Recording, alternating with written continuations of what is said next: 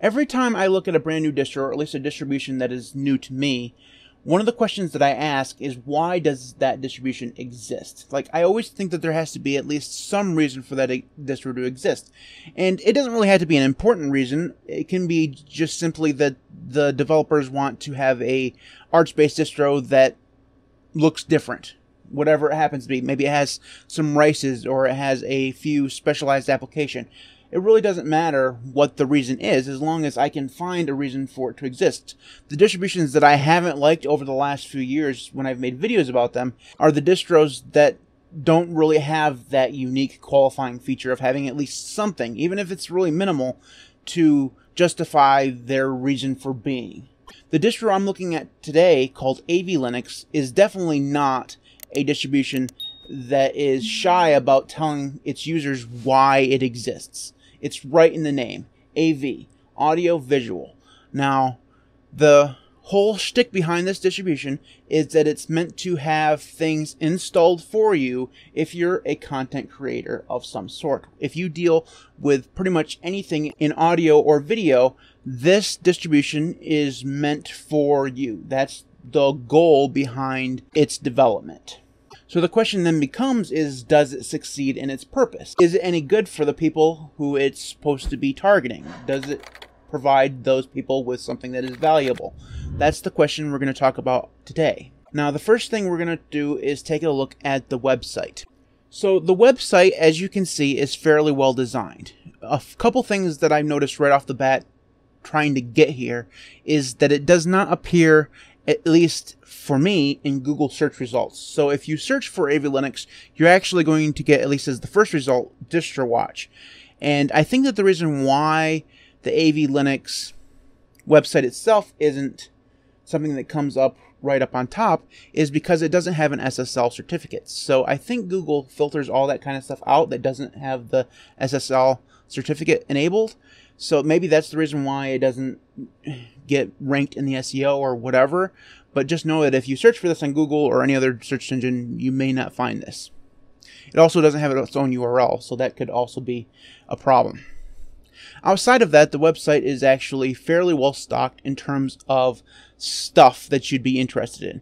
And it's all, as you'll come to know, very much targeted at people who are content creators or at least enthusiasts in the audio visual space. So people who are interested in applications that deal with audio and video, uh, everything that's on this website, everything that is packed into AV Linux is dedicated to those people. The next thing you'll probably notice is that this is in fact based on MX Linux. Now, that in itself is pretty interesting because I don't know that there's actually any other distributions that are actually based on MX Linux. Now, MX Linux itself is based on another distribution, which is in fact based on another distribution. So this is one of those distributions that's kind of well into the family tree, if you will. But there aren't any others that I can think of off the top of my head that are actually based on MX itself, which is again kind of cool because I love MX Linux. And I think that that is a solid base for a distribution to be based off from. With it being based on MX, obviously, you're going to have a Debian underpinning of everything there. So you're going to have access to the Debian repositories and the Debian issues that always kind of crop up with running Debian. But you'll also have that stability, which is something that a lot of content creators really want. So let's take a gander around the website just for a minute here. You'll find links to documentations. You'll find links to the downloads as well.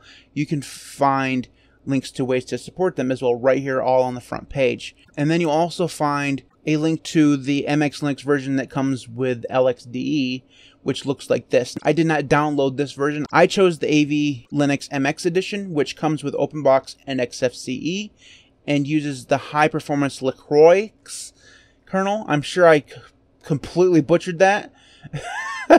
I'm sure there's somebody out there who I don't. I, I have no clue how to pronounce that, but liquor, liquorix, liquorix. But it's probably. I don't know. I, am sure somebody out there is like, Matt, don't even try to do that anymore. just stop. Just stop, please. Please stop trying to pronounce things that you can't pronounce. It's okay. I'll stop. All right.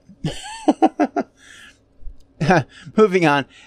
On this page here, you'll also get links to the documentation, links to the downloads, and some information over what it includes. So you'll get to see this system is tuned out of the box for fast, low latency audio performance, seamless jack pulse audio integration, and optional support for Windows audio and plugin applications through Wine staging.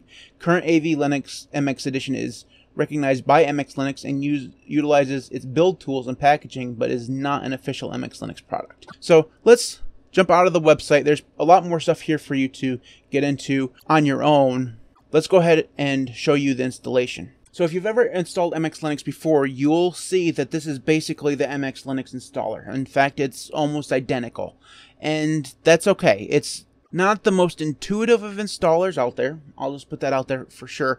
But it's also not the hardest. So it's very simple, has four or five steps. One of the coolest things that I've always enjoyed about the MX installer is that it starts installing almost literally after the second step. So once you've told it where to install, it starts installing. So as you go through the rest of the process of choosing your username and password, giving it a host name, and things like that, you will already be in the process of installing it.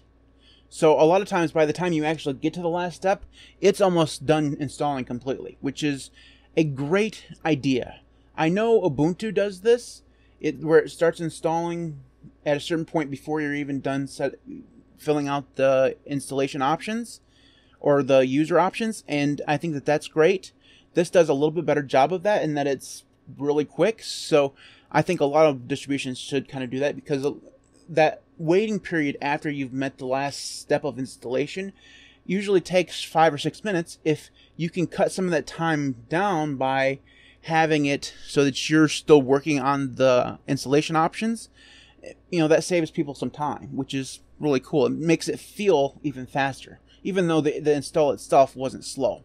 So once you've installed it, you're going to get something in like this and it is a custom Grub theme, which is kind of nice. You don't have just the black screen like you normally would, but so you get some color there, which is nice. You get the normal line of text there at the beginning, which you get with pretty much every Linux distribution, and then you're given this. Now, I have no clue what display manager this is.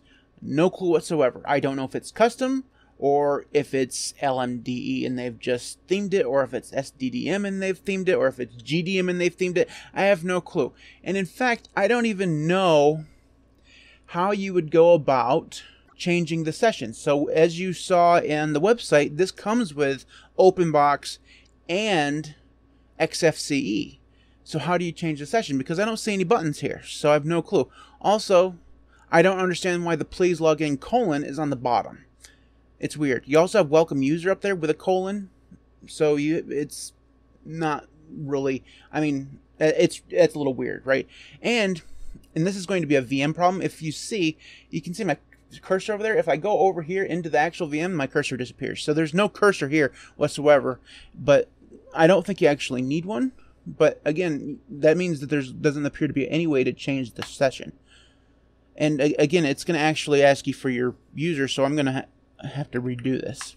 So I'll type in my actual username this time. So there's no way for your user to actually already be selected. You have to enter your username here instead of it being already there for you. Then you can I can enter my password. So here we go. We're going to go into uh, what I believe is OpenBox. It does take a little while to show up. And once it does show up, this is what you're presented with. Now, the first thing I'm going to do before we go and take a look here at the welcome screen is open up a terminal and type in xrandr-s1920 by 1080 and actually did that right yeah like that there we go now it definitely does look better full resolution that's for sure but one thing that i'm going to tell you right now is that if i were to use this i would change that cursor because that cursor is horrendous like it is so bad. I think it's supposed to be like a guitar pick. Looks like a flower petal and is mostly useless. I mean, that is not a good cursor whatsoever. It looks cartoony, and this is supposed to be for profess- professionals. So I'm not sure why they chose that cursor. I mean, it'd be easy enough to change. Again, not that important, but it's the first thing. The first thing out of the box that you see is that, and that is an immediate thing that just like, uh, I don't know, I don't like that so much. But anyways, here is the welcome screen. AV Linux MX Edition 21.1. The multimedia content creation focus AV Linux has provided since 2008 is now combined with the powerful versatility of MX Linux. AV Linux MX Edition comes with a high performance kernel, the light and configurable OpenBox window manager, and the efficient yet full featured XFCE for desktop environment. In addition to the whole host of useful tools, including the venerable MX tools paired with the convenience of the AVL MXE assistant, this system is tuned out of the box for fast low latency audio. So this is basically the same spiel they had on the website. Okay, so uh, take your time, look around, and try things out. If you wish to install, simply right click on the desktop, and the installer is at the top of the open box menu, which is an interesting thing because this is already installed. Okay, so one thing about Linux is that when you've installed something, like when you install Ubuntu, you don't still get access to the installer once it's been installed. That's not something that happens with Ubuntu, with Arch, with Fedora, none of those things. Like when you've installed it, the installer's gone. But not so with AV Linux. And the thing is, is even with MX Linux, that's not true as far as I'm aware. Like you can't still get to the, the installer once you've installed MX. I'm pretty sure that's true. And that means that this is a little weird. I mean, it's not the big a deal. It's it's there, but it's definitely something that you have to deal with. So you, along the bottom, you get links to install the hardware drive, which is already done. Read, read the manual and close. That's the welcome screen. We're going to go ahead and don't show again. Okay, so this is the OpenBox Window Manager, and I'm not sure if I misinterpreted the website or not, because the website makes it seem like the OpenBox and the XFCE thing are all on the same ISO. So it's possible that I just messed this up and that there are actually okay, so that one's not useful because they truncate the thing. So let's see here. Yeah, I don't see an XFCE version there. That's just one ISO. So that means XFCE is probably on here somewhere. And like I said at the beginning, or when we looked at that display manager, it didn't. I didn't see a place to actually switch sessions. We'll have to go back and look at that. So it doesn't matter. We'll see if we can find that later on. So along the bottom here, we have a little dock. We have Firefox as the web browser. This is the file manager, which is going to be, I believe that's Thunar. That is, yeah, that's Thunar. Okay, that's good. Thunar is a good file manager. Opens up in full screen by default. So I was wondering if it was a tiling layout because I can't actually make this smaller. So if I click this, that's how you make it smaller. Okay, so if it's full screen, like this, and this might be an open box thing. Like I've never actually used open box, but you can't drag a full screen down and have it minimized. You have to actually click the button. Okay, that that would be kind of annoying, but you know, whatever. So that is Thunar along the bottom here. We also have the MX package installer, which looks like this. So it's asking for sudo permissions. So and yeah, that's the MX installer. That's a very good package manager, like a GUI package manager. It gives you access to the stable repos, the MX test repo, the Debian backports repos, Flatpaks is right here out of the box. So that means you're going to have a wide variety of software available to you that isn't already installed. So if you need to find something, you can probably find it here. And the fact that Flatpaks is here by default means that you're going to have access to even more software. Why they ask for a password again, I'm not sure. That's going to take. Oh, it's because it's going to be doing a update of the mirrors. Okay, so that takes a little bit. Okay, what else is along here along the bottom? We have open windows. Those are the open windows there, though. So, and then some widgets along the bottom. So we have like a, a volume widget, a network widget. So if you click that, you're going to have the list of your networks. And then you're going to have an updates widget. So just tell you to have updates. Then you have the thing to power off the system. Here we have the menu, which is the whisker menu. I believe that's the whisker menu. That's from XFCE. And we can go through some of the applications that are installed. So where AV Linux is supposed to shine is with the applications that are installed that are targeted towards people who con- create content either in the audio or visual sphere. So as we go through these, we'll kind of pay attention to see if they've kind of met that goal or if they have meandered a little bit too far outside of it, if you will. We'll see how that goes. So we have the user manual here, archive manager. Those are things that are usual. A BPyTop, which is a resource monitor that appear, should appear in a terminal, which it does. I believe BPyTop has actually been updated to BTOP now, but I don't know, so I don't know if that's still maintained or not. But it's still a good resource monitor. We have also Mixer here, so that's our first audio application. An appearance menu here. This is going to be that's going to be part of the XFCE suite of things. So I'm wondering if there's not actually like a separate there's not a separate XFCE session. It's just more of a situation where XFC and OpenBox have kind of been combined into one.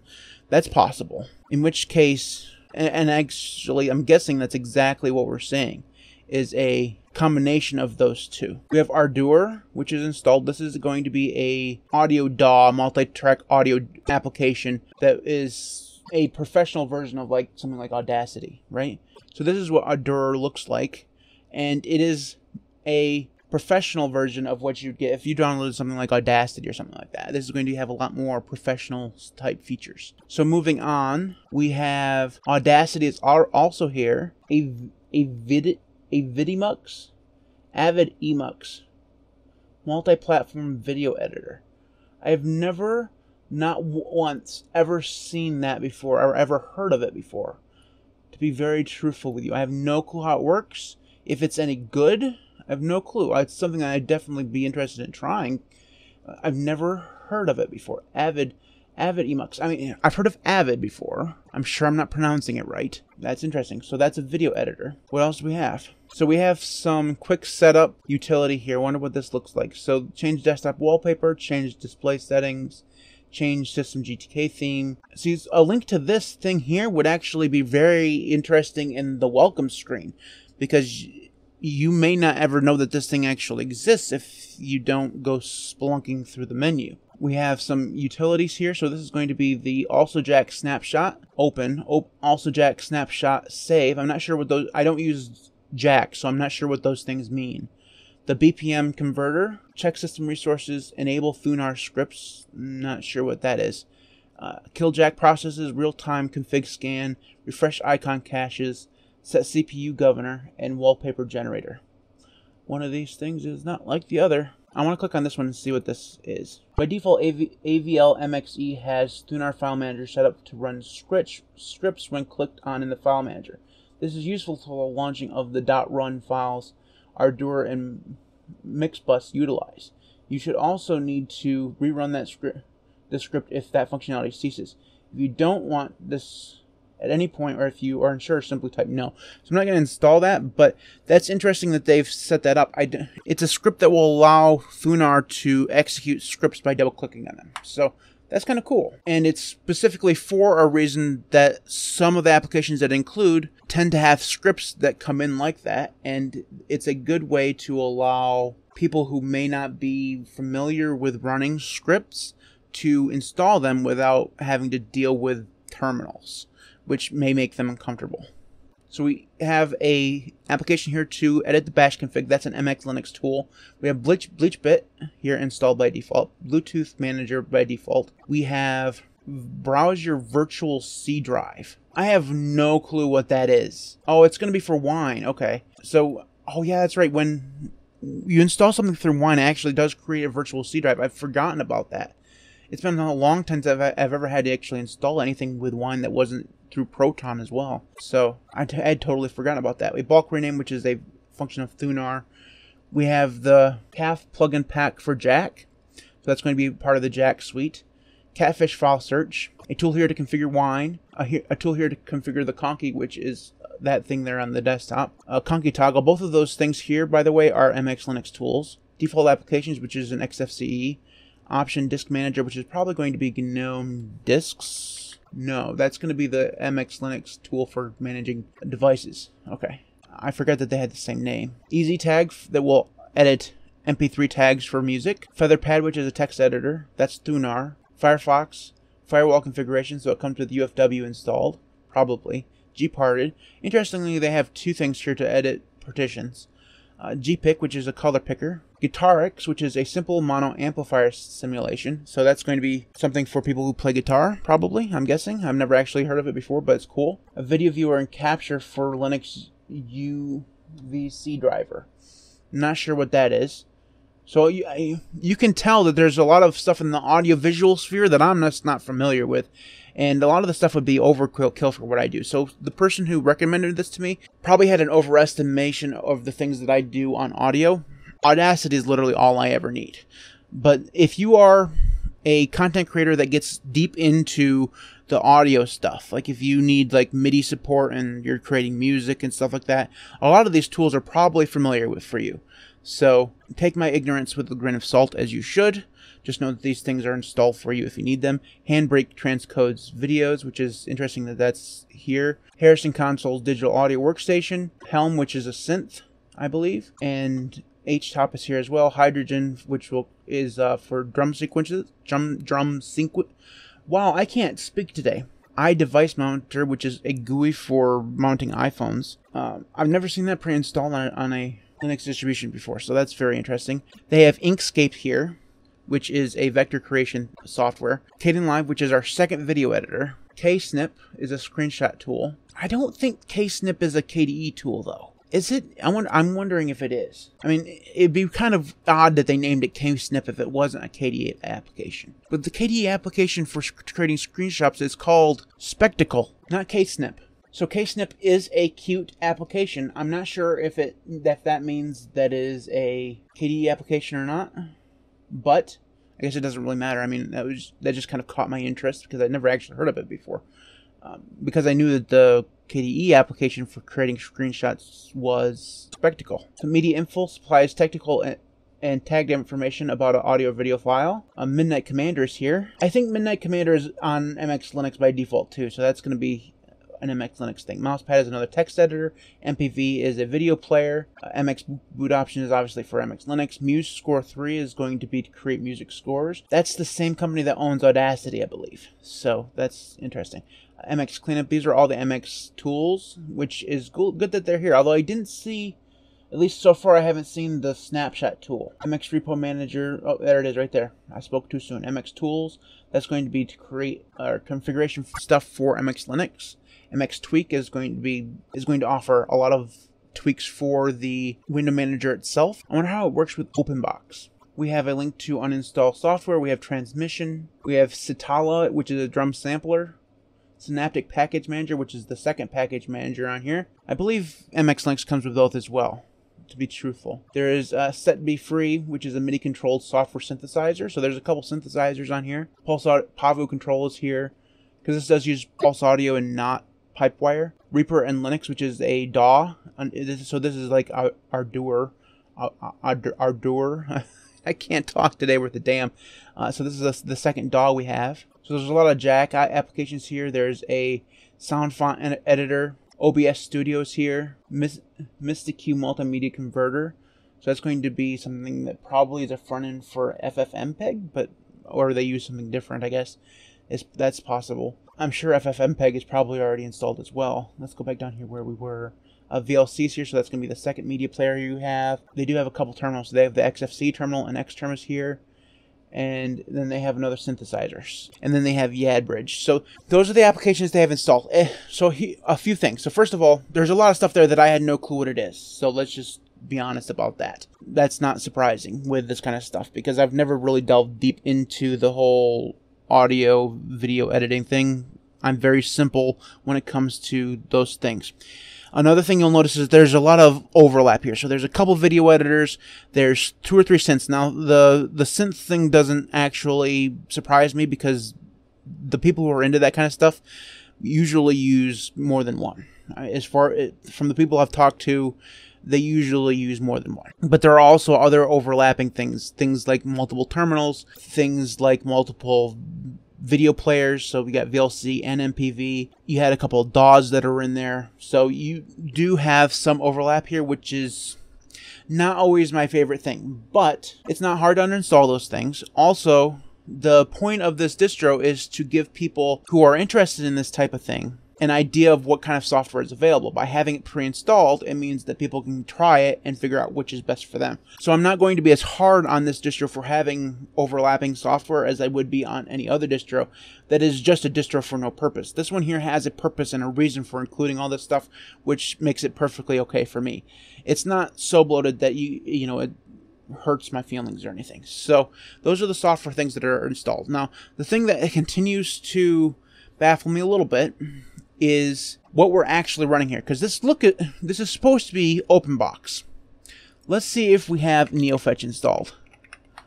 We do. So this is the window manager is OpenBox, but the desktop. Okay, so that's exactly what it is. Like I said before, this is actually XFCE, but with the OpenBox window manager on top of it instead of using the XFCE window manager. So that is an interesting thing. I've never I've seen it done by other people. I've never seen it done by a distro before. So that's kind of cool. So this is using the kernel 5.16, which is not the newest, but not the oldest. It's running bash 5.1, and they're actually using a nerd font inside this terminal, which makes it really cool.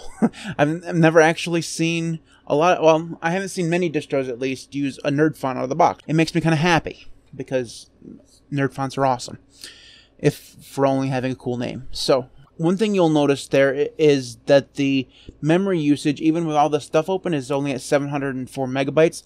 We'll see what free says because free measures different better different than NeoFetch using 518 and that's with all the stuff open. So we have the appearance thing open, we have the MX utilities open, we have the MX package installer open, we have Thunar open, we have a terminal open, and we're still only using 518 megabytes of RAM. Let's close these things, and this cursor would drive me absolutely bonkers because it's hard to click on things. I'd have to set up a key binding or get rid of the cursor, I suppose. Let's go ahead and run that again and see what we're at now 462. So that is on the low side when it comes to RAM usage and that's really good. So that means that there's more RAM available for you to do things that are going to require more RAM, like record audio and record video and things like that. So I have to say, there are two things that come, become to mind immediately when I use, or as I've been using this. The first is that I'm not enamored with the look and feel all that much. I don't know what that display manager is at the beginning is, and it's not well designed. I don't care for having to type in my username. Whenever there's one just one user, it should come up automatically, and almost every display manager does that for you. It's possible that if I were to log out now, it might remember my name, but that first time you come to it, it doesn't know your name, and if you don't pay attention like I didn't, you just enter your password. You actually enter your password as your username, so that's not a big deal. Uh, the second thing I, that I noticed when it comes to look and feel is that cursor. I mentioned it before. It's not a great cursor. And I know I'm harping on it, but it's just first impressions, right? Uh, then the third thing is that I'm not a big fan of this particular layout when it comes to OpenBox. I've seen OpenBox look really, really good. Like OpenBox is very much a customizable window manager, and it means that you can, if you put effort into it, you can make it look fantastic. You know, whether whether you use something like EWW or whether you use something like Tint 2, you can make OpenBox look spectacular. And while this isn't the most ugly desktop environment slash window manager I've ever seen, it's definitely not the prettiest either. And like I said, those first impressions are going to be very important for a lot of people. But I think that for most people, they're going to be here for the software that comes pre-installed. So the underlying tweaks that they've made to make Jack work really well, the things that have, they've done to make Pulse Audio work really well and in conjunction with Jack, the tools that they've included to allow you to manage Jack, the software that they've included so that you can edit and capture audio and video very easily, all that stuff is why you would install this distribution.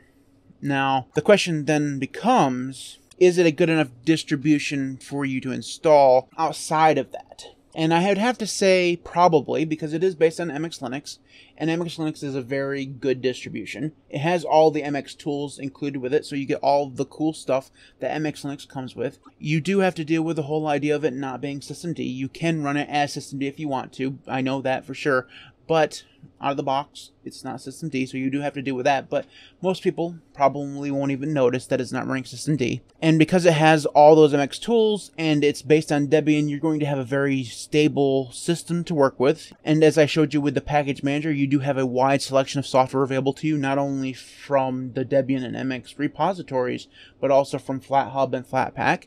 So there's not going to be a lot of software here that you can't download, which is good because a lot of the Debian stuff is going to be a little bit old. So if you want something more new, chances are it's probably going to be available to you through Flatpak, which is good. So let's take a look before we leave and see what other kind of customization stuff they have because there's also other stuff here that they allow you to customize. So here's the OpenBox configuration manager and you can choose a lot of stuff for so you can choose different themes so it has a, a light and a dark theme and then you have some older style themes as well. So you do have access to some themes as well. You can also install new themes if you can find where they're stored. I'm assuming you probably could find them on the internet somewhere. There's some appearance settings. There is some options for how windows are treated. They have some options here for moving and resizing windows and dialogues. They have options here for the mouse and how it focuses. They have some options here for creating virtual desktops they have some options here for margins along the desktop. I'm not sure what those what that means. Desktop margins are reserved areas on the edge of your screen. New windows will not be able to place. Basically, that looks like it's gaps. So cool. It has gaps. Now this is the dock. I'm not sure what they use for a dock. That might be Plank or based on Plank. Panel preferences. No, that's. All right. So that's just going to be a basic XFCE for panel that they've customized to look like a dock. So it does give you some options there for how it behaves, which is cool. So those are the configuration options for OpenBox. The one thing I didn't see here, system, is the system settings manager that you usually see with XFCE. All that, all the regular stuff is here, but I don't. Oh, it is here. It's right here. Yeah, and they've added all of their stuff that they've added that we saw before. All the AVL MXE stuff that we saw, saw in the menu. So the one thing that XFCE does a little bit differently than a lot of other desktop environments is they allow very easily the distro maintainer to add stuff to their settings. So you get things like the iDevice monitor that wouldn't normally be here. Things like the firewall configuration thing that wouldn't normally be here.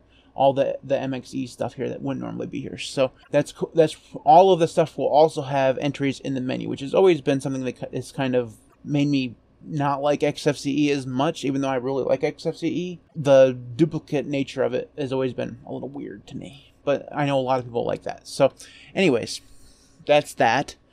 Let's see what else they have here in the menu. So, they have created several assistant applications. So, things like the quick settings, which we looked at earlier, things like the system utilities, which we looked at earlier, things like the package settings, which which seems to interact with the kernel I'm not sure exactly what those things do. And I'm not, I've never actually heard of that kernel before, which is why I couldn't pronounce it. So I don't know, like I said, I'm not sure what those things do. I'm sure it's probably in the user manual somewhere if you need to know the specifics, some wine settings, and then system uh, system editor here, which is going to be a place where you can find the configuration files. Cool. Okay, so that's most of the settings, and that's mostly uh, AV Linux. It's basically at the end of the day, it's MX Linux with XFCE with OpenBox on top of it, with a whole bunch of software that is dedicated towards the goal of making it easy to create content, whether that is audio or video. And that's an overall good thing. It definitely has a point of existing. And because it's XFCE, you could theoretically do pretty much whatever you want with it. And if you're familiar with OpenBox, I'm sure that opens up even more opportunities to customize the experience of it as well. I've never used OpenBox before other than a few like brief passes by, so I don't know a ton about it. But I can see how it has some options for the user to customize. Probably like any other window manager, you can get into a configuration file somewhere and customize to however you want. So lots of software, easy customization, runs on MX Linux, so it's going to be stable, that is AV Linux. I have to say, outside of the look and feel, I'm pretty impressed with it because it does come with a lot of software. Out of the box, that's great. I think. So that's it for this video. In the comment section below, let me know your thoughts on AV Linux. I'd love to hear from you. This is the last first look distribution video that I'm going to make like this. The next one I do will be from hardware and it's going to be a little bit it's going to be structured a little bit differently so be prepared for that if you want to see how that turns out make sure you hit the subscribe button you can follow me on twitter at the linuxcast if you want to follow me on Mastodon or Odysee or any of those other places, you can find those links in the video description. You can support me on Patreon at patreon.com slash linuxcast. I'd like to thank my current patrons and the people who support me on YouTube. I truly do appreciate it. Every single video I say how I appreciate you guys for supporting me, and it's the honest God truth. I just never do a very good job or a very eloquent job of saying how grateful I am. So I just never can really find the words, so I just babble on until the scrolling is done. So thank you for your support. Thank you for watching. I'll see you next time.